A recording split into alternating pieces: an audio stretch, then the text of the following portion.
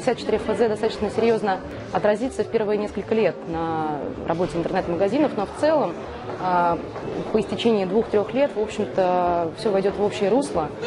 Совершенно какая-то новейшая вот история и задача да, для e-commerce.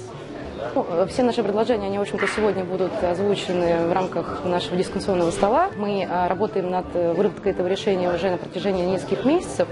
Вот, и, наконец-то, в общем-то, приняли а, решение идти в рынок с совершенно новым сервисом который изменит, я думаю, что не только ну, в будущем, да, в целом рынок применения контрольно-кассовой техники в e-commerce, но и по нашим оценкам, наверное, очень серьезно вообще изменит парадигму а, применения контрольно-кассовой техники и для офлайн торговли. Я думаю, что это очень полезное мероприятие, так как бизнес а, с помощью вас, да, как организаторов, и с помощью всех экспертов получает те необходимые ответы на очень остро волнующие вопросы, что помогает им расти и адаптироваться в новых условиях.